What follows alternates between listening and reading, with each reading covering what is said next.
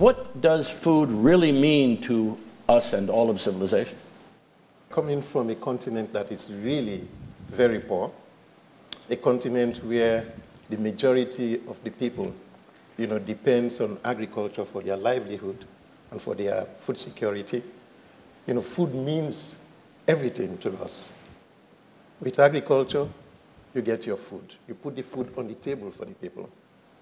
And a healthy people that are able to get three square meals a day, you know, can contribute to the development of their nation. They are healthy, and so agriculture contributes to health.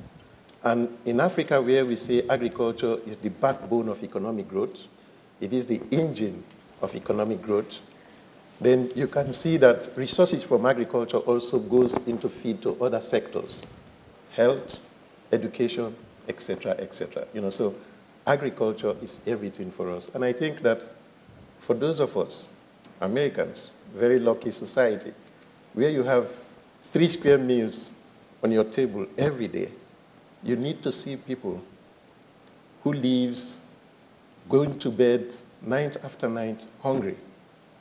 You know, and then you will know the importance of agriculture. So for me, agriculture is everything. You said that 70% of the people in Africa work somehow or other in the agricultural field. And you were telling us also that 60% of the income of many people in Africa is spent on food.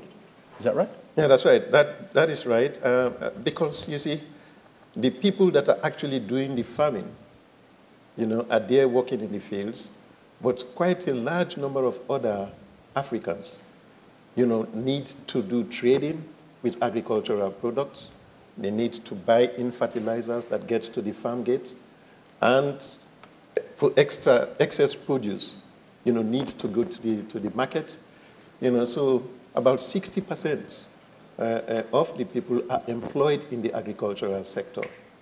You know, and apart from that, because the majority of Africans are poor, you know, we spend up to about 70% of our income in buying food.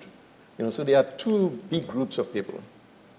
Those that produces and eat the food that they produce, and those that can earn some money to buy and eat the type of food that they want to eat.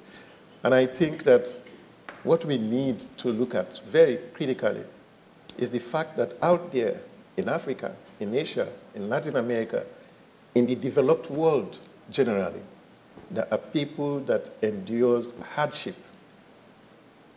misery, because they cannot eat three square meals a day.